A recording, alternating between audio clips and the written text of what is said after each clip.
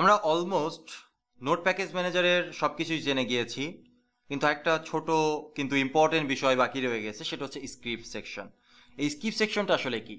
এটা হচ্ছে কিছু কমান্ড যে কমান্ডটা আমরা রান টাইমে বা হচ্ছে টার্মিনালে কল করতে পারি। অলরেডি আপনারা স্টার্ট কমান্ডটা দেখেছেন অলরেডি আমরা দিয়েছি সেটা।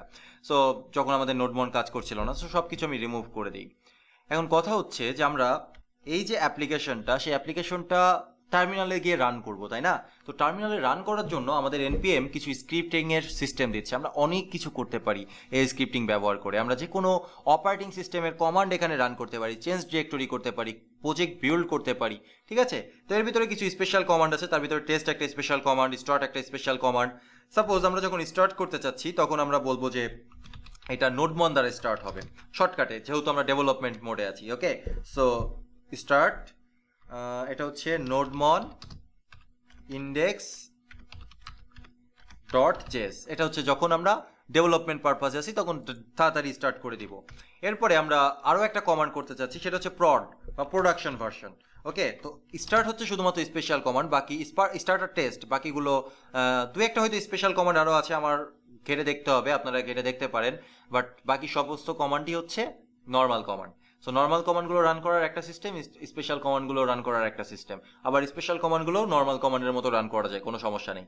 এখানে সাপোজ আমরা প্রড নামের আরেকটা স্ক্রিপ্ট তৈরি করলাম, সেই স্ক্রিপ্টের ভিতরে আমি বললাম, এটা মূলত নোটমনকে নিবে না নোটকে নিবে। নোট ইন্ডেক্স ডট জেস কারণ আমরা প্রোডাকশন সার্ভারে নোটমন রান করব না, আমরা প্রোডাকশন সার্ভারে রান করব নোট ওকে সো এই হচ্ছে আমাদের দুইটা স্ক্রিপ্ট এরকম অসংখ্য স্ক্রিপ্ট থাকতে পারে, দশটা, বারোটা, বিশটা স্ক্রিপ্ট থাকতে পারে ইট ডাজেন্ট ম্যাটার সো এবার আমরা যেটা করব, সেটা হচ্ছে যে ক্লিয়ার করে নিব আমাদের টার্মিনালটাকে টার্মিনালটাকে ক্লিয়ার করে আমি লিখলাম যে এনপিএম স্টার্ট যেহেতু স্টার্ট হচ্ছে স্পেশাল কমান্ড সেহেতু হচ্ছে এটা জাস্ট এনপিএম এর পরে কমান্ডটা দিয়ে দিলেই এটা কাজ করবে ওকে আবার আপনি ইচ্ছা করলে এইভাবেও রান করতে পারতেন।